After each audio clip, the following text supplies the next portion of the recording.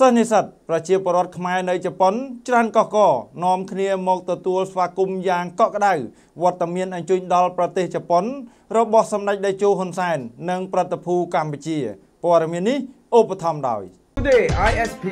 get connected សហគមន៍ប្រជាជនខ្មែររស់នៅប្រទេសជប៉ុនយ៉ាងច្រើនកកកបាននាំគ្នារងចាំទទួលវត្តមានអញ្ជើញដល់របស់សម្ដេចតេជោហ៊ុនសែននៅថ្ងៃសុក្រនេះប្រកបដោយក្តីសោមនស្សរីករាយនិងរំភើបក្រៃលែងខណៈដែលសម្ដេចតេជោនឹងអញ្ជើញធ្វើទស្សនកិច្ចរយៈពេល2ថ្ងៃនៅក្នុងប្រទេសជប៉ុនតបតាមការអញ្ជើញរបស់នាយករដ្ឋមន្ត្រីជប៉ុននិងគណៈកម្មាធិការប្រណិប័តចម្រុះនៃកិច្ចប្រជុំកំពូលលើកទី4ស្ដីពីបញ្ហាទឹកនៅតំបន់អាស៊ីប៉ាស៊ីហ្វិកសម្ដេចតេជោនាយករដ្ឋមន្ត្រីនឹងអញ្ជើញចូលរួមកិច្ចប្រជុំកំពូលនេះដែលនឹងប្រព្រឹត្តទៅ នៅថ្ងៃទី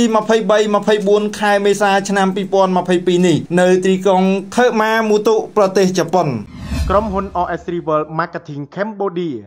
សម្ភារសុខភាពឧត្តមភាព Dream Vermix 3 មិនចាក់មិនលេបមិនវះកាត់គ្រាន់តែលាបប៉ុណ្ណោះ